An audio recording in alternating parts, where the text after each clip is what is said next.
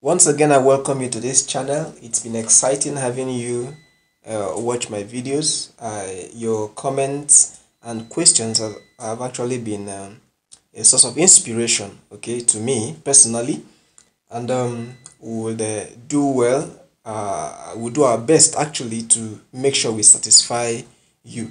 Don't forget to subscribe to this channel if you've not done so, and then also um, share our videos, okay, for the benefit of those who do not know that uh, this channel exists, okay. So tell them. So in this present video today, we shall be looking at the intestines, okay, of the goat. Of course, we have these as a representative for other ruminant species. So what you have here can also give you a guide or hint okay to other ruminant species like the cattle and then the sheep okay so uh, of course the intestine is made up of majorly two parts the small intestine and the large intestine, okay? So what we have from this point okay down to this point okay is the small intestine, okay? While from this point okay down to this point is the large intestine, Okay, now let's look at the three parts. Of course, the small intestine has three parts, three major parts, while the large intestine also has three major parts. Okay, the, mm, the three major parts of the small intestine is, includes the duodenum. Okay, this is the duodenum. Okay, this is a duodenal loop. Okay, forms a loop. So this is a duodenum. Okay, and at this point, when it begins to, you know, spiral very well okay it becomes the jejunum so the whole of this mass is the jejunum. The jejunum is actually the longest part okay of the small intestine okay? It is the longest part of the small intestine. All these are is a straight cord okay which forms loops. It just forms several loops all over okay? And then continues at this point. From this point it continues as the ileum okay? So the ileum is actually this short uh, portion okay? It's actually this short portion. So the ileum which we see here is the part of the small intestine that makes contact or that joins with the large intestine at this particular junction. Now this arrow here the red arrow uh, shows the point at which the small intestine okay uh, joins with the large intestine. Now, the structure you see here, okay, this is the cecum, okay, of course I said this is the ileum, this is the cecum, and then this is the beginning part of the colon, okay. So this particular junction here is called the ileocecocolic junction, okay. Go.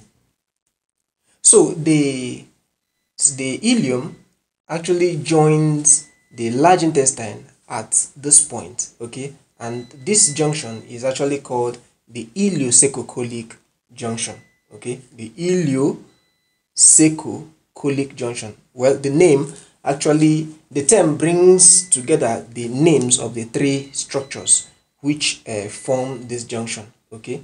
So like i said that the small intestine joins the large intestine at a junction or at a point called the ileocecocolic junction. And this junction is made up of the ileum, the cecum, okay, and then the colon. So this is the colon. All right. Now, uh, having talked about the small intestine, let's move over to the large intestine. Like I said initially, the large intestine consists of this entire mass up to this point okay and it is also made up of three major parts it is made up of the cecum okay? The colon and then the rectum. Okay? The cecum starts from this point. You know this is anatomy so we need to get it uh, specifically. We need to get it clear. Okay? From what point to what point. So the cecum is this mass from this point to this point. Okay? From this point to this point. Okay? The colon starts from here and runs until this point okay while this is the rectum now let's look at uh, having seen the cecum nothing much to say about the cecum. Let's talk about the colon.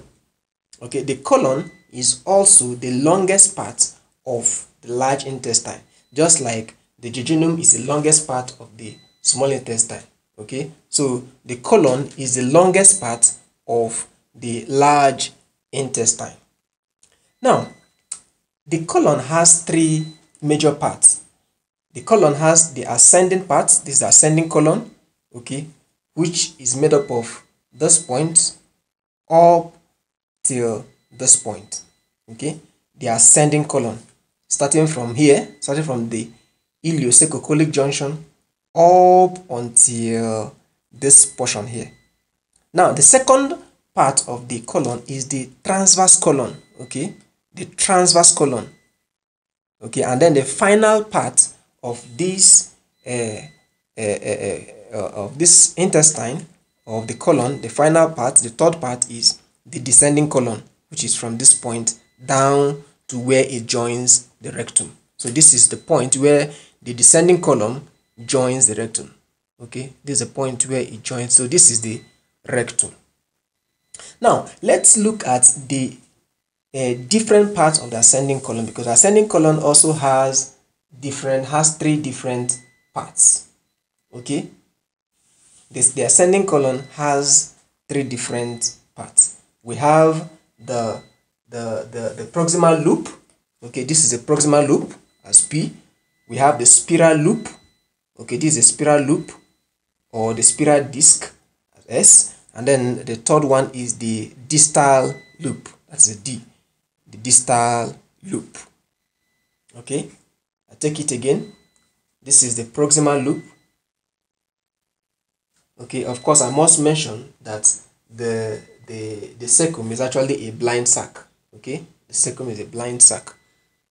Now the proximal loop, the first part of the ascending colon is this, the proximal loop, okay, which joins or continues as the spiral loop or disc. Now, uh, we can't really go into separating or separation of these uh, coils, but I must tell you that it has the centripetal coils and then the centrifugal coil. Okay, now the next portion after the spiral loop or disc is the distal loop okay? This is the distal loop which then continues as the transverse colon so this is the three parts of the ascending colon okay? And then the transverse colon and then this is the descending colon while this is the rectum.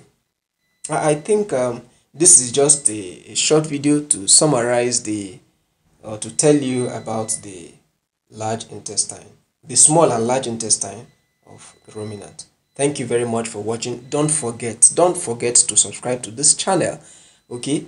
And then do well to share our videos and um, uh, make your comments make your comment ask your questions where and when necessary. Thank you